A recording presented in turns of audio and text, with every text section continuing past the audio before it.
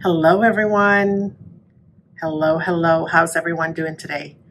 This is Sabrina Hosein with Focus on Facts, and we are going to talk a little bit today about some business tips.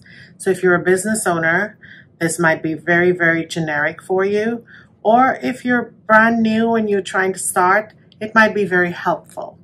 So, tip number one if you are very new in business, and you're trying to figure out how to grow, how to market, how to bring the clients in, what worked for me and has worked for me for over 11 years is the networking. But we have to be really careful how we network. You don't just want to go everywhere and network.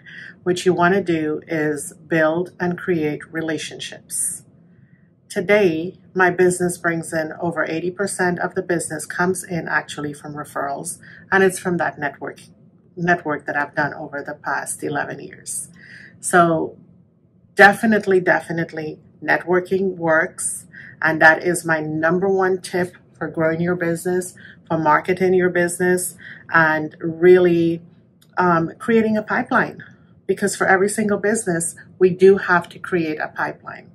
If you're a business owner and you're looking for help, resources, uh, you're looking to start a business, please reach out to me.